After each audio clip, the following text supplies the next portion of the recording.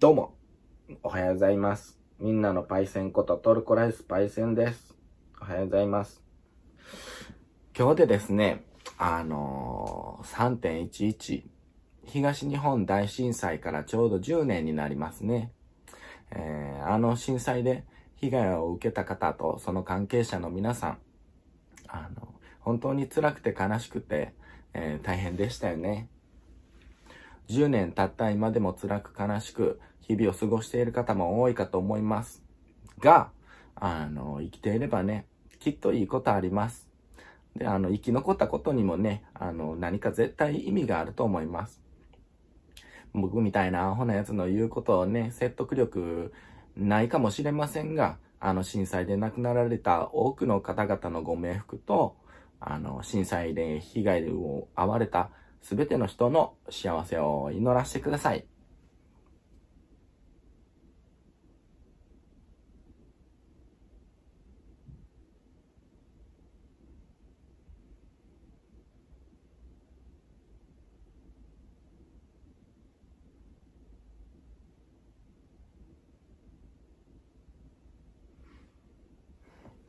そしてですね、うんと、まあ、今日僕が一番言いたかったことなんですけども、今日3月11日が誕生日の人、うん。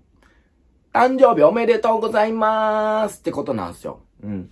僕ね、3月11日が来るたんびに毎年思うんですよ。あの、なんやろな。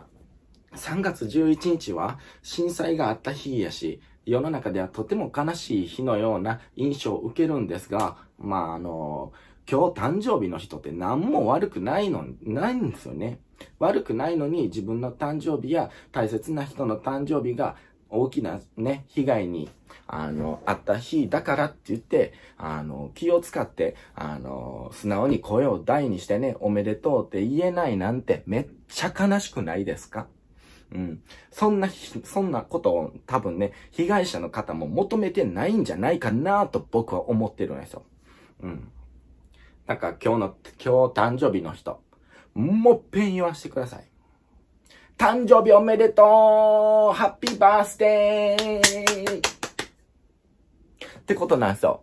ね、今日は何にも悲しい日じゃないから、うん。気使って、気使わんと、あの、いっぱいパーティーしちゃえばええんやで、っていう感じです。はい。